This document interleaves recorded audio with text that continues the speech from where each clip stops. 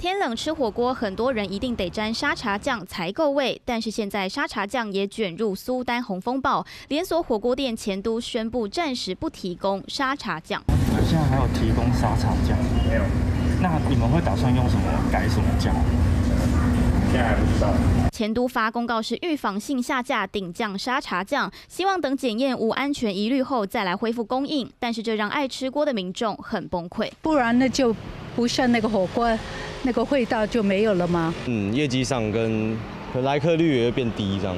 因为可可能大家比较喜欢吃沙茶酱吧。另外，其他连锁火锅店则是沙茶酱中标，在脸书上发声明道歉，表示即日起立刻更换沙茶酱品牌，并且附上检验报告，让消费者安心。是跟前都进的，前都下架，我们也是下架。假他大家都验出来，当然是下架了。苏丹红食安问题烧不停，锅烧意面业者也遭到波及。